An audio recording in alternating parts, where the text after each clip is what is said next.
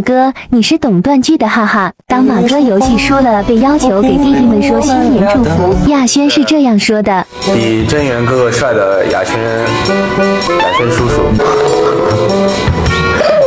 呃，然后给您拜年了。这个世界的人怎么了？哇塞！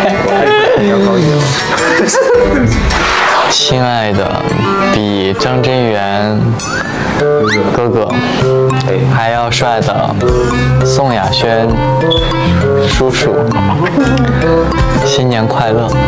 侄儿给您拜年。这一生圆了。录完了没？快点，给你们十秒钟。